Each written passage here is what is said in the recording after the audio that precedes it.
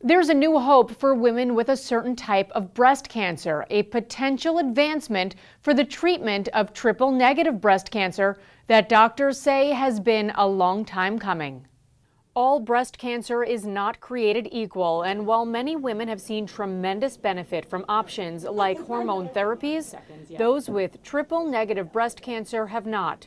But now, a possible breakthrough. This is the biggest advance I would say, in triple negative breast cancer that has occurred in quite a number of years.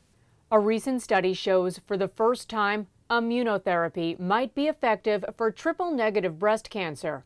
Triple negative breast cancer accounts for about 10 to 15 percent of all breast cancer cases, and while many women are cured, Dana-Farber Cancer Institute's Dr. Eric Winer says those that see a recurrence have a challenging road ahead of them it accounts for a disproportionate degree of the mortality from breast cancer. The study tracked 900 women with metastatic triple negative breast cancer.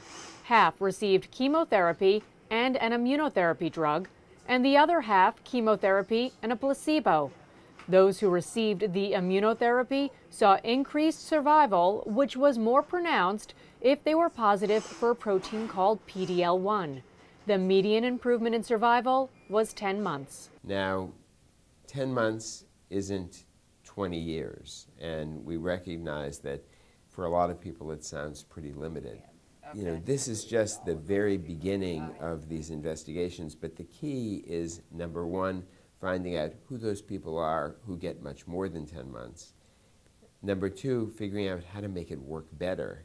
And number three, how to reduce side effects with it you know, we, we've been working very hard on this for the past several years and will continue to do so because it's, it's very clear that this is going to be a real cornerstone of, of cancer therapy.